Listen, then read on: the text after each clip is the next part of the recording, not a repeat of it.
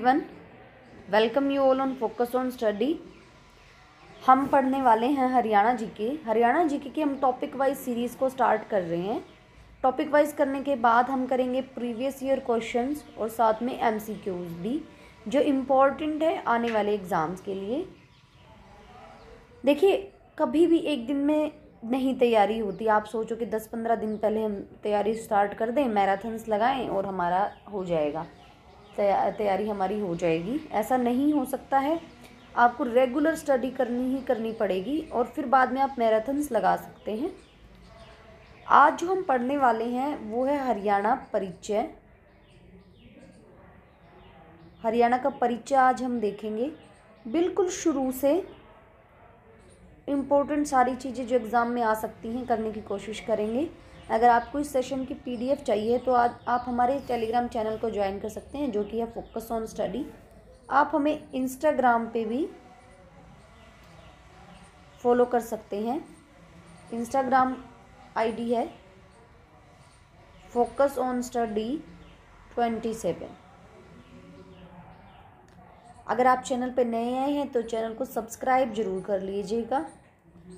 Video को like कर दें और ज़्यादा से ज़्यादा शेयर भी कर दें ताकि सभी बच्चों के पास वीडियो पहुँच जाए। तो चलिए शुरू करते हैं हम आज का टॉपिक हरियाणा। हरियाणा की स्थापना कब हुई थी? यानी कि हरियाणा राज्य के रूप में कब बना? एक नवंबर 1966 को हरियाणा बना था। 1966 को हमारा हरियाणा बना था। जब हरियाणा बना तो उस समय सात ज़िले थे। कितने ज़िले थे? सात ज़िले थे। उनको याद करने की एक ट्रिक है। घर जे के में जे के में। देख लेते हैं कौन कौन से थे वो सात ज़िले। सबसे पहले जी से बनता है आपका गुरुग्राम एच से हिसार अम्बाला आर से रोहतक, जींद के से करनाल और एम से महेंद्रगढ़। देखिए कौन कौन सा मैप में आपको दिखा देती हूँ। जींद, हिसार आपका करनाल अम्बाला गुरुग्राम, महेंद्रगढ़, ये आपके बने हुए थे ज़िले। एक रोहतक, टोटल सात ज़िले हरियाणा के निर्माण के समय पे बने हुए थे। आगे बात कर लेते हैं। जब हरियाणा बना, ये मैं सब आपको बता रही हूँ, कब का? जब एक नवंबर 1966 के समय की स्थिति बता रही हूँ मैं आपको। तब गाँव कितने थे? एक नवंबर 1966 को कुल गाँव कितने थे? तो कुल गाँव थे दो हज़ार पाँच सौ पच्चीस थे। जनसंख्या घनत्व कितना था? जनसंख्या घनत्व था आपका दो सौ सत्ताईस। साक्षरता अगर उस टाइम पे देखी जाए तो साक्षरता थी ट्वेंटी परसेंट। विधानसभा सीटें देख लेते हैं।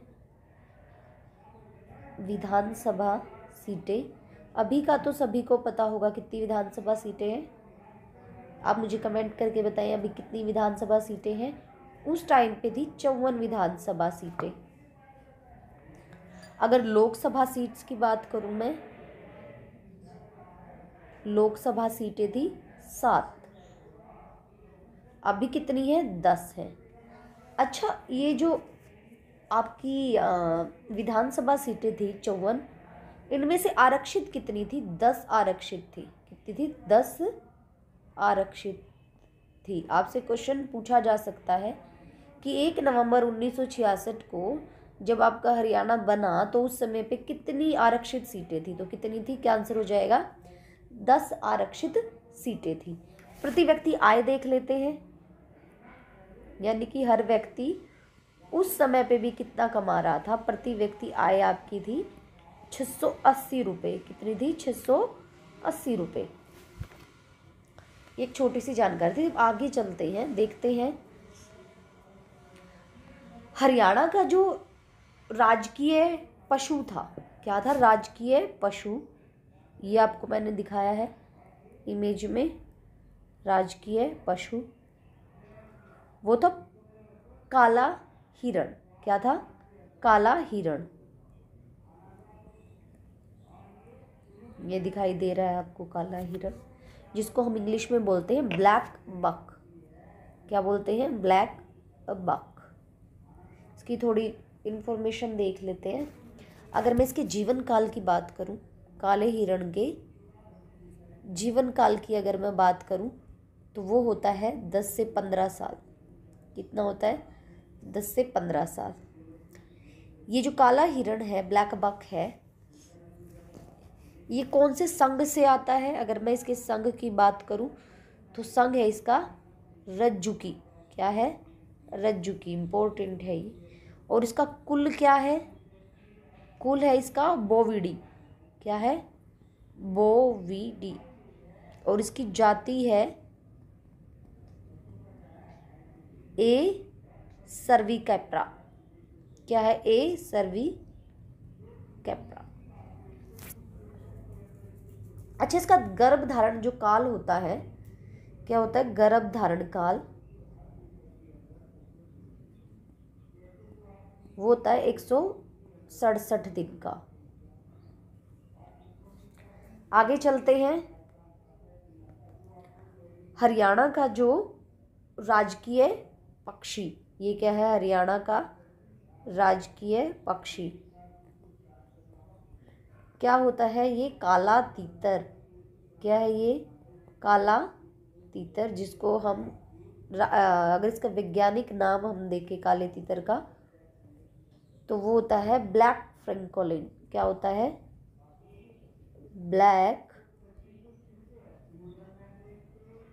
francolin. फ्रेंकोलिन।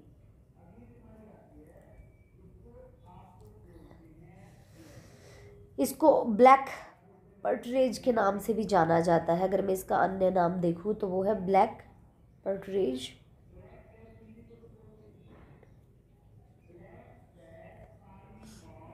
इसका जो जीवन काल है, ब्लैक फ्रेंकोलिन, खाले तीतर का जीवन काल होता है तेरह से सोलह वर्ष, तेरह से सोलह वर्ष का इसका जीवन काल है।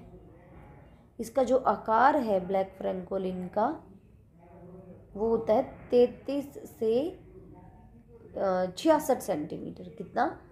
तैतीस से छियासठ सेंटीमीटर। जो इसके ये पंख आपको दिखाई दे रहे हैं, पंख, इनकी चौड़ाई जो होती है, वो पचास से छप्पन सेंटीमीटर होती है। क्या होती है पंखों की चौड़ाई? पंखों की चौड़ाई होती है पचास से छप्पन सेंटीमीटर। अगर मैं इसकी कुछ आपको और विशेषताएँ बना दूँ, बता दूँ तो ये छः से दस अंडे देता है ज़मीन में घोंसला बनाकर। कितने? छः से दस अंडे देते हैं ये। ज़मीन में घोंसला बनाकर इनके सिर पर, इनका सिर जो होता है वो काले रंग का होता है, आपको दिख भी रहा होगा इनका सिर कैसा होता है, काले रंग का, और आँख के नीचे सफ़ेद रंग के धब्बे से पाए जाते हैं, और ये जो गर्दन है ये लाल रंग की होती है, कैसी होती है, रेड कलर की गर्दन पाई जाती है जर्नली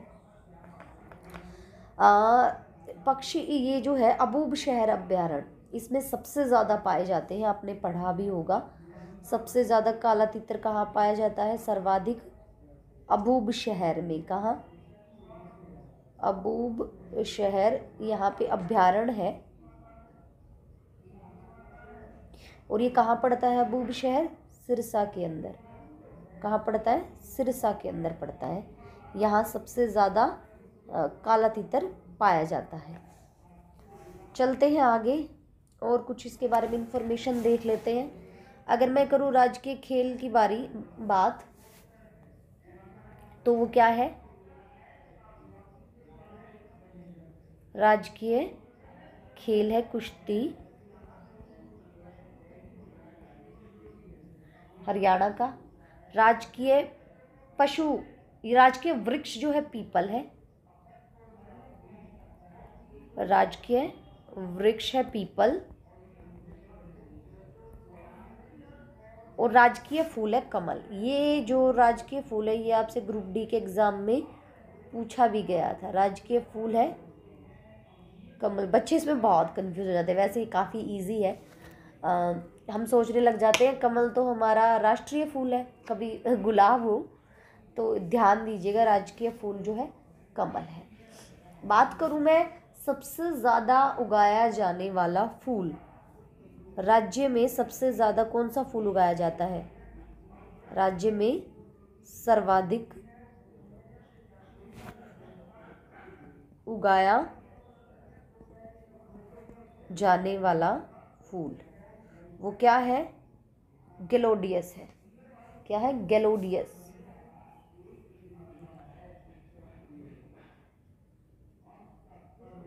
ग्लेडियोस।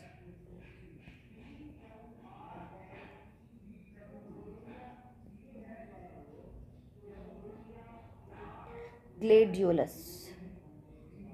सबसे ज़्यादा ये कहाँ उगाया जाता है? ये उगाया जाता है फरीदाबाद ज़िले में। कहाँ? फरीदाबाद में। अक्टूबर, नवंबर इसकी खेती का समय है। क्या है? अक्टूबर, नवंबर इसकी खेती का समय है। चलते हैं आगे। राजकीय भाषा की अगर मैं बात करूँ, हरियाणा की हरियाणवी नहीं है। राजकीय भाषा है हिंदी। क्या है? हिंदी राजकीय भाषा है। कुल हरियाणा में कुल जो डाकघर है, हरियाणा में डाकघरों की कुल संख्या। किसकी? डाकघरों की। तो वो है दो हज़ार छः सौ निवासी। कितनी है? दो हज़ार छः सौ निवासी। आगे चलते हैं।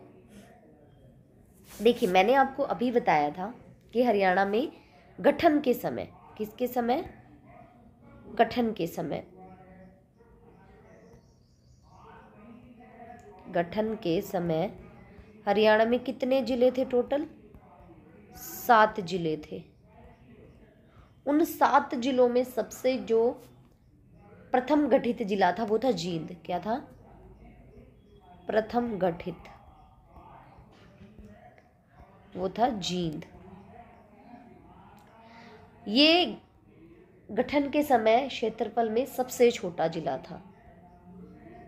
सबसे छोटा जिला गठन के समय। गठन के समय। और सबसे बड़ा अगर मैं सबसे बड़े ज़िले की बात करूँ, वो था हिसार। क्या था? हिसार। बहुत ज़्यादा टुकड़े हुए हैं हिसार के। ये क्या था? सबसे बड़ा। सबसे बड़ा गठन के समय। मुझे कमेंट में बताएँ, अभी कौन सा है? अभी प्रेजेंट में आपका सबसे बड़ा ज़िला। कमेंट करें। सबसे बड़ा ज़िला, या मुझे कमेंट करके बताएँ, ठीक है? चलते हैं आगे। हरियाणा का क्षेत्रफल कितना है? हरियाणा का जो क्षेत्रफल है, वो है चवालीस दो सौ बारह वर्ग किलोमीटर। किलोमीटर स्क्वायर, इसको हम बोल सकते हैं वर्ग किलो मीटर। कितना क्षेत्रफल है हरियाणा का? चवालीस दो सौ बारह। ऐसे इजीली याद हो जाएगा। ये जो है हमारे देश के पड़ोसी देश भूटान के लगभग बराबर है। किसके? पूछा जा सकता है ये। भूटान के लगभग बराबर। हमारा पड़ोसी देश है ना भूटान, उसके लगभग बराबर है। अक्षांशीय विस्तार हम देख लेते हैं हरियाणा का।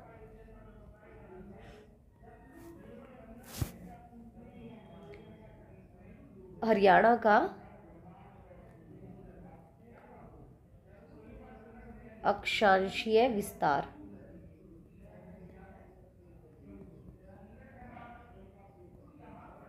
हरियाणा का अक्षांशीय विस्तार है। सत्ताईस डिग्री उनतालीस मिनट से लेके तीस डिग्री पिछहत्तर मिनट उत्तरी। क्या है ये उत्तरी? इस चीज़ का आप ध्यान रखिएगा। ये कंफ्यूज कर देता है, उत्तरी की जगह आपको पूर्वी, दक्षिणी, पश्चिमी कुछ भी दे सकता है। अगर मैं हरियाणा के अक्षांशीय विस्तार की बात करूँ, वो सत्ताईस डिग्री उनतालीस मिनट से तीस डिग्री पचहत्तर मिनट उत्तरी है। अगर हरियाणा के मैं देशांतरीय विस्तार की बात करूँ, क्या? देशांतरीय विस्तार। तो वो कितना है? चौहत्तर डिग्री अट्ठाईस मिनट से सतर डिग्री छत्तीस मिनट पूर्वी। क्या है पूर्वी? ये आप, ये तो आप कर लोगे यार। सत्ताईस, तीस, चौहत्तर, सतहत्तर, ये उत्तरी और पूर्वी आप ज़रूर ध्यान रखिएगा। हरियाणा की कैपिटल क्या है? हरियाणा की राजधानी क्या है? चंडीगढ़ है। क्या है? चंडीगढ़। हरियाणा का जो क्षेत्रफल मैंने आपको बताया चौवालीस दो सौ बारह, ये हमारे भारत के one point three four percent है। किसके? भारत का one point three four percent है ये क्षेत्रफल में। ठीक है? अगर मैं बात करूँ, हरियाणा की कर्क रेखा से कितनी दूरी पे स्थित है? किससे? हरियाणा कर्क रेखा से कितनी दूरी पर स्थित है? कितनी दूरी पर स्थित है? तो वो हो जाएगा आपका चार सौ चौवालीस पॉइंट बावन किलोमीटर। या फिर हम कह सकते हैं लगभग तीन सौ मील। कितना? लगभग तीन सौ मील। अगर हरियाणा की मैं आकृति की बात करूँ, हरियाणा की जो आकृति है, वो है विषम बाहु। क्या है? विषम बाहु, या फिर इसको हम कह सकते हैं चतुर्भुजाकार। क्या? चतुर्भुजाकार, चार भुजाओं वाला। या फिर इसको हम ये भी कह सकते हैं षटकोणीय पतंगाकार। क्या? षटकोणीय षटकोणीय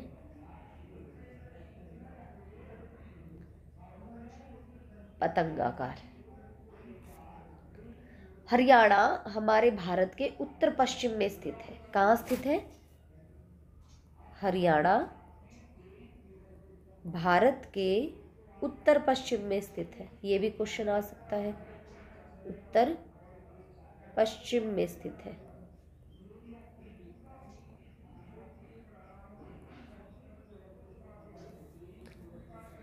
आज के लिए इतना ही। बाकी हम करेंगे नेक्स्ट क्लास में। अगर आपको वीडियो ज़रा भी पसंद आई है तो प्लीज़ वीडियो को लाइक कर दें आप और ज़्यादा से ज़्यादा शेयर कर दें। चैनल को सब्सक्राइब कर लें। देखिए, ये आप इसको ना स्पीड से करके भी देख सकते हैं, क्योंकि जो बच्चे अभी स्टार्ट ही कर रहे हैं, उनके लिए भी है ये। तो जिनको पहले से आता, उनका रिवीजन हो जाएगा। बाकी अपना अच्छे से इसको देख लें। नोट्स आप फोकस ऑन स्टडी के टेलीग्राम चैनल से ले लें इसका पीडीएफ अगर आपको चाहिए है तो। मिलते हैं नेक्स्ट वीडियो में। Thank you so much